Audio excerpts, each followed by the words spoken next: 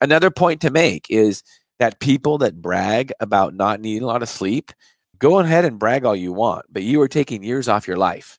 Or people that brag about, oh, well, you know, you got all the time to sleep when you're dead.